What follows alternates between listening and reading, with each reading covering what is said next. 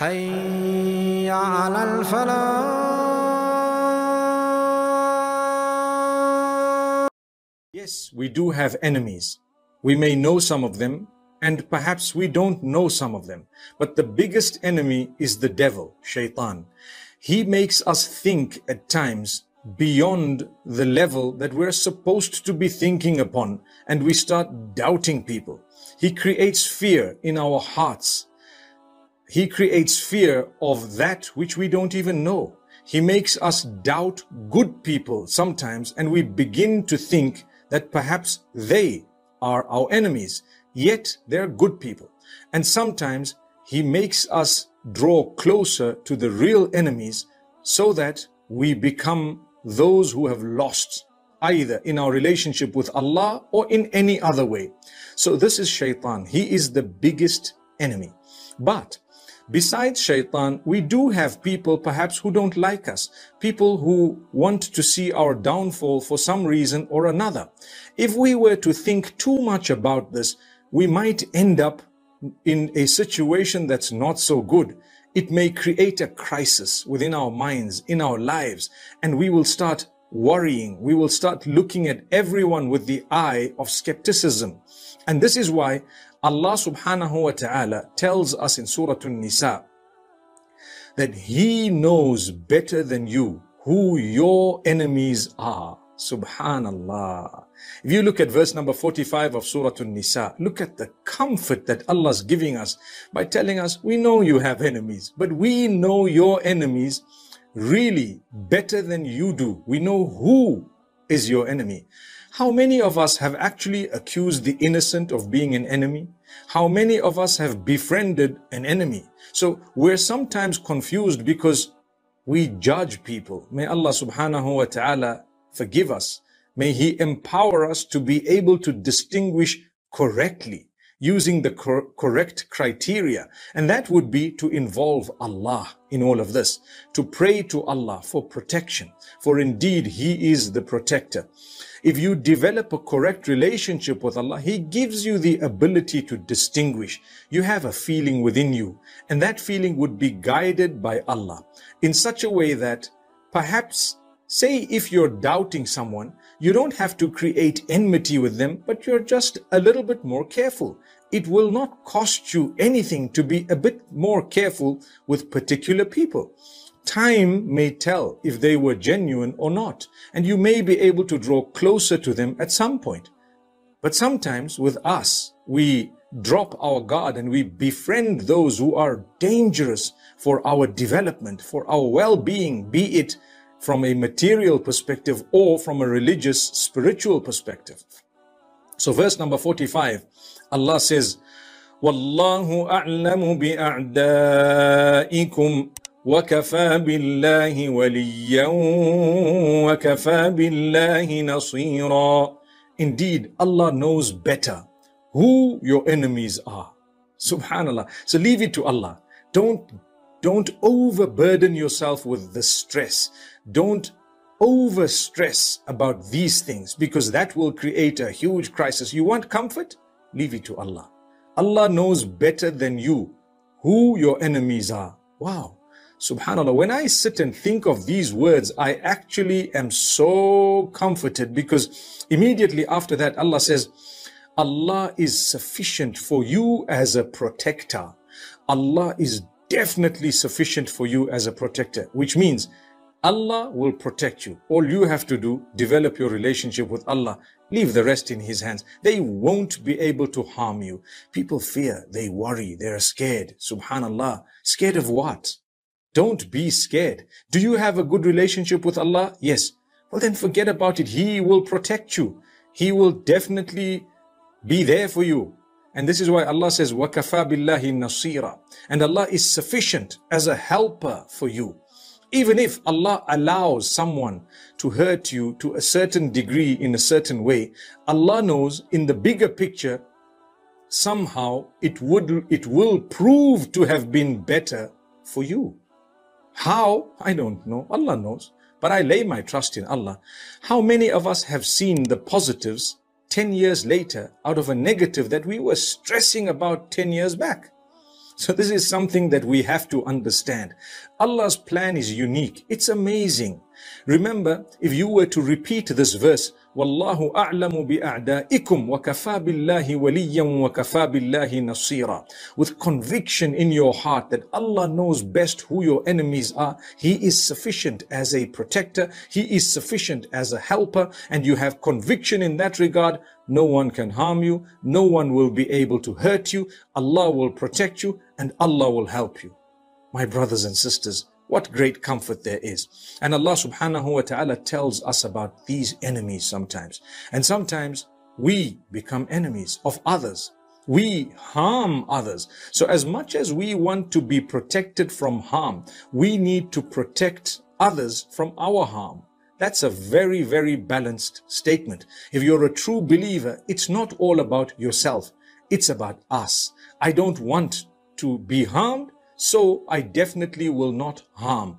And I'm going to go a step further and help those who I think may be harmed by others. I'll try to protect others as well so that Allah will protect me.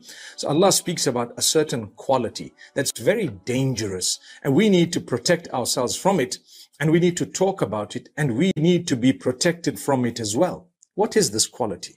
In verse number 54 of Surah An-Nisa, Allah speaks about jealousy and what it does. Don't allow yourself to be jealous of others.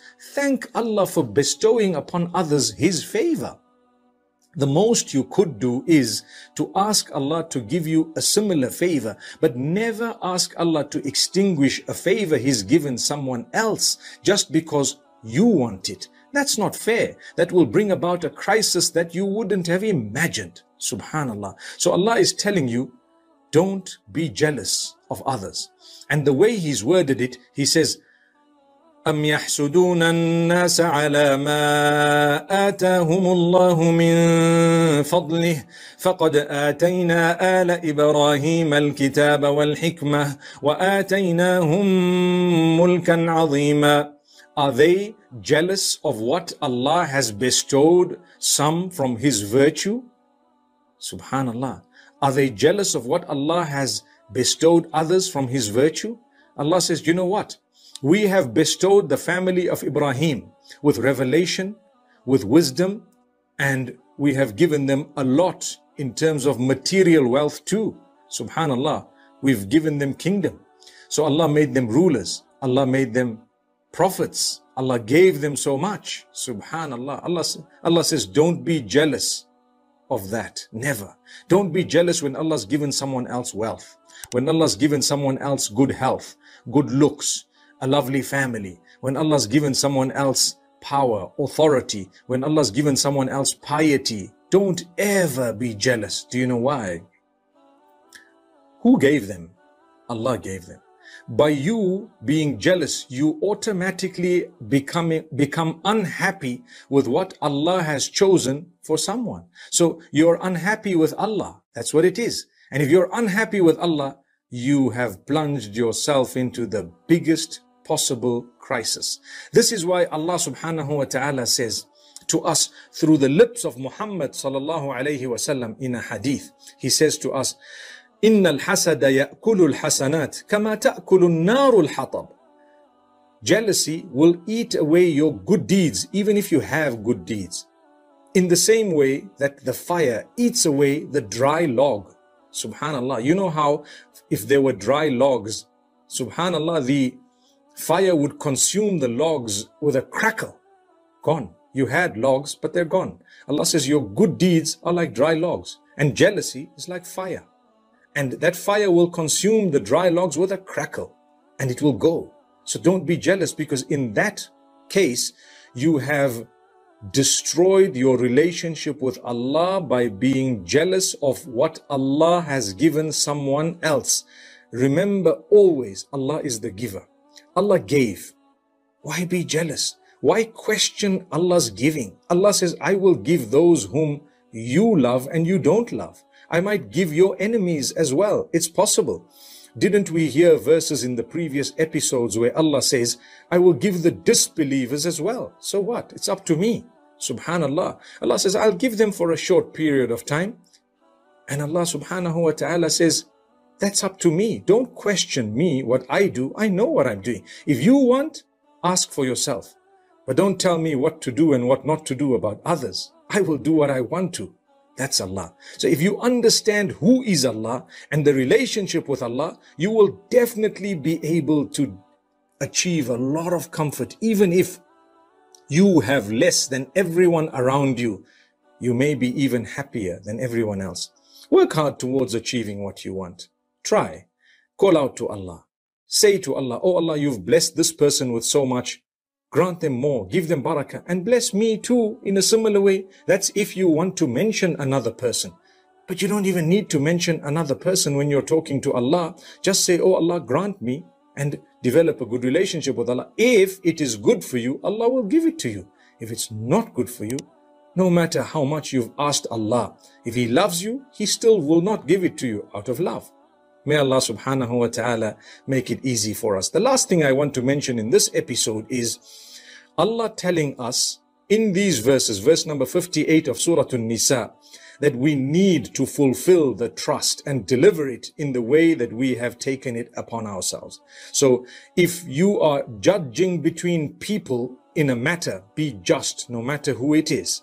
And Allah says, إن الله يأمركم أن تؤدوا الأمانات إلى أهلها Allah is instructing you to return the trust to those whom it belongs to. Someone has entrusted you with something, be honest. Return it to whom it belongs to, no matter what it is. Allah says, in that way you will achieve comfort. Then Allah says, وَإِذَا حَكَمْتُم بَيْنَ النَّاسِ أَن تَحْكُمُوا بِالْعَدْلِ when you are judging between people in their matters, then be just. Subhanallah. May Allah subhanahu wa ta'ala grant us justice. And may Allah subhanahu wa ta'ala make us from those who can stand firm upon justice no matter who it is. For indeed it is when we stand for justice that we will achieve the pleasure of so Allah. much for listening to the the short message. I pray that it has increased you in a little bit of motivation and hope, and the same applies to all of us. جزاكم الله خير. السلام عليكم ورحمة الله وبركاته.